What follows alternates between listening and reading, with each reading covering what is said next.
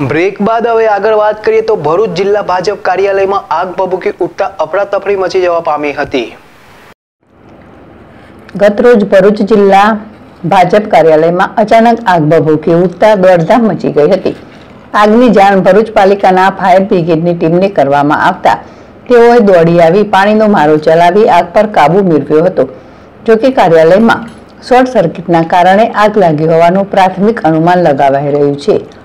ભરૂચ જિલ્લાના ગરમીના કારણે આગની ઘટનાઓ બની રહી છે. ત્યારે આજે સવારના દસ વાગ્યાના અરસામાં કસક વડીલોના ઘર નજીક આવેલા ભારતીય જનતા પાર્ટીના જિલ્લા કાર્યાલયમાં અચાનક ધુમાડા સાથે આગ ભભૂકી ઉઠતા દોડધામ મચી ગઈ હતી. આગ અંગેની જાણ ભરૂચ નગરપાલિકાના ફાયર બ્રિગેડની ટીમને કરવામાં આવતા તેઓએ તાત્કાલિક ફાયરના બંબા સાથે દોડી આવી, આગ ઓલવવાની કામગીરી હાથ ધરી હતી. જોકે કાર્યાલય બંધ હોય, અંદર ધુમાડા વધી જવાના કારણે લશ્કરોને આગ ઓલવવા માટે ભારે જહેમત ઉઠાવવી પડી હતી. ફાયરના માણસોએ પાણીનો મારો ચલાવી આગ ઉપર કાબુ મેળવ્યો હતો. આગમાં કાર્યાલયમાં રહેલું અમુક સાહિત્ય બળી ગયું હતું. આગ શોર્ટ સર્કિટના કારણે લાગી હોવાનું પ્રાથમિક અનુમાન લગાવાઈ રહ્યું છે. આગમાં કોઈ જાનહાનિ થવા પામી ન હતી. યાકુબ પટેલ છે ડેસ્ટીવી ટીવી ભરૂચ.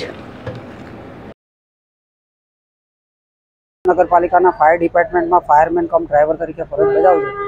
આજરોજ સવા દસની આસપાસ કસક રોડ પર આવેલ વડીલોના ઘર પર ભાજપ કાર્યાલયમાં શોર્ટ સર્કિટના કારણે આગ લાગી હતી. અમે તાત્કાલિક ઘટના સ્થળે પહોંચી આગને સંપૂર્ણ કંટ્રોલ કરી લીધી છે. કંઈ જાનહાનિ થયેલ નથી.